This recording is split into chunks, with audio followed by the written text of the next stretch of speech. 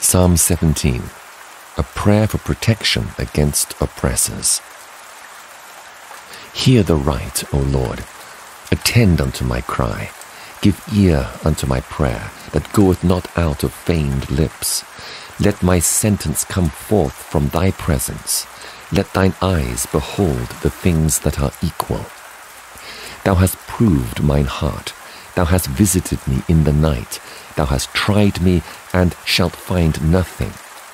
I am purposed that my mouth shall not transgress.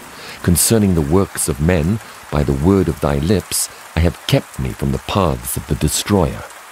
Hold up my goings in thy paths, that my footsteps slip not.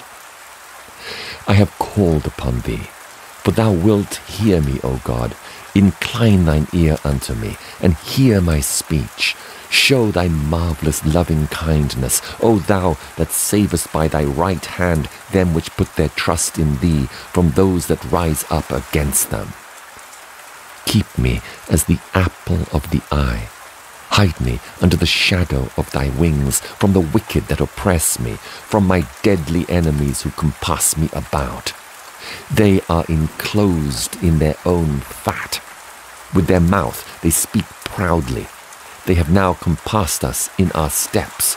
They have set their eyes bowing to the earth, like as a lion that is greedy of his prey, and, as it were, a young lion lurking in secret places. Arise, O Lord, disappoint him, cast him down. Deliver my soul from the wicked, which is thy sword, from men which are thy hand, O Lord, from men of the world which have their portion in this life and whose belly thou fillest with thy hid treasure.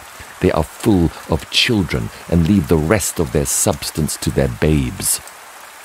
As for me, I will behold thy face in righteousness. I shall be satisfied when I awake with thy likeness.